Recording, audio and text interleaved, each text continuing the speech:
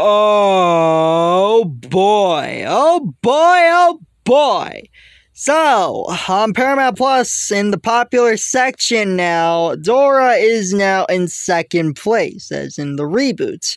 In third place, it's SpongeBob. Um, so they are really going all in for this. It really is trending like this with the Dora reboots. Of course, it's not number one, but hey, this is still quite of a major surprise to see about it.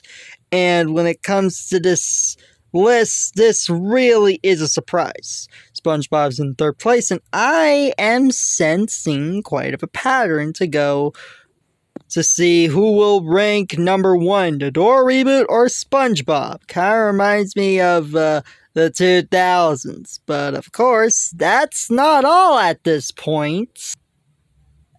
As Dora is trending number one on originals. Yeah, that's crazy. That is very crazy to see about it. But man, oh man, this really is something to see about it. As it keeps going with its popularity especially as the other shows being featured are not for kids. They are just, well, save for maybe the iCarly reboot, but that's more for nostalgia purposes. But Dora is a preschool show. The rest are aimed for older audiences. It's just crazy to see about the Dora reboot still having its power. Oh, what am I saying? It's gonna keep going. I feel that it's going to keep going and going and going on its specialty about how it keeps trending like this. And on the kids section.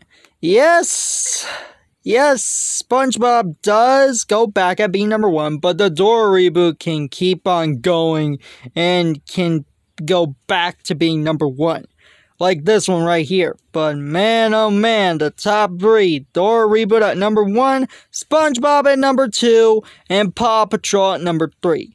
It keeps dethroning SpongeBob and Paw Patrol, of course, about this like that. And I gotta say, this really is quite an accomplishment on what the Dora reboot seems to be doing. Anyway, guys, this is Kawaii Life Antonio, signing off. Peace.